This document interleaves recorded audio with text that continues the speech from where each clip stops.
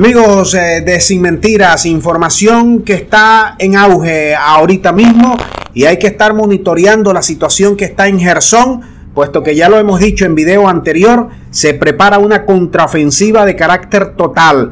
Pero aquí nos corresponde informar sobre el último ataque con los famosos IMARS que lanzaron desde las eh, desde eh, la AFU, las Fuerzas Armadas de Ucrania. Estamos hablando que fueron seis IMARS, pero uno de ellos, uno de ellos dio en la central hidroeléctrica de Kobaskaya.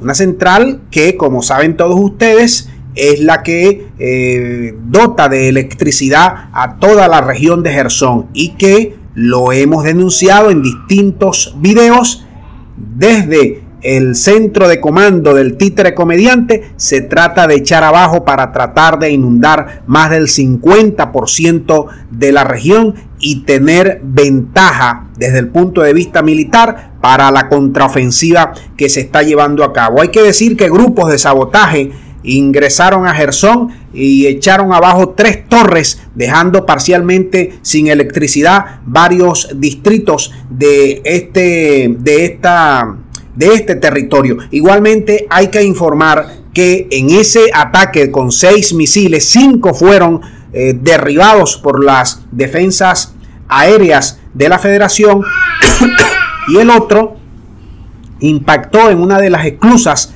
de la hidroeléctrica sin daños que lamentar, sin daños aparentes. Fueron seis misiles y además se, eh, se ha declarado también el estado de alerta por todos estos ataques de saboteadores y estos IMARS e igualmente informar que sigue la evacuación de las personas que todavía quedan en la ciudad porque como hemos repetido, Ucrania prepara un ataque total, masivo de contraofensiva. Se habían replegado en días anteriores, pero de ese repliegue era para acumular blindados, tanques, vehículos, combustibles, municiones, proyectiles y toda suerte de otro armamento para tratar de llevar la ventaja y obtener este trofeo que se lo han prometido al abuelo para las elecciones de medio término. Creo que no le va a, no le va a llegar el tiempo, pero de todas formas hay que estar pendientes con este, eh, esta contraofensiva que se va a lanzar en las próximas horas. Vamos a dejar el video hasta aquí esperando sus comentarios al respecto. Muchas gracias. Será hasta la próxima.